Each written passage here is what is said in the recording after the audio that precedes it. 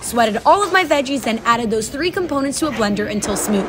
I finished it off with cream and seasoning, then tasted it and had Chef taste it and was so happy because he said it was perfect.